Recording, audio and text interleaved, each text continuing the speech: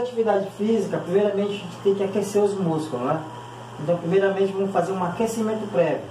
Primeiramente, caminhada 5 minutos, em casa, na residência, no corredor, no quintal, uma caminhada, 5 minutos, para caminhada e água.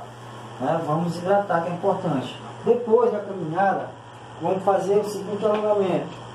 Ó, estica o pé um pouquinho, volta, respira. Vai de novo, respira. Ombro. Ó. Ó. Certo? Certo. Depois, braço estendido, flexionado. Vai. Segura de 12 a 15 segundos. Depois vira, segura na parede. Ó. De lado. De lado para mostrar direitinho. Ó. Segurou na parede, vai ter dificuldade. Ó. 15 segundos. Virou. Novamente. Certo?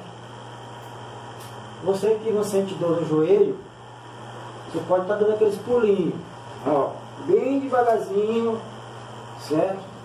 Que não tem artrose, problema de joelho certo? E aqui esse movimento, lateral, na lateral.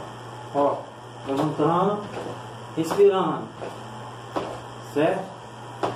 Pronto. Agora vamos para a sessão de exercício.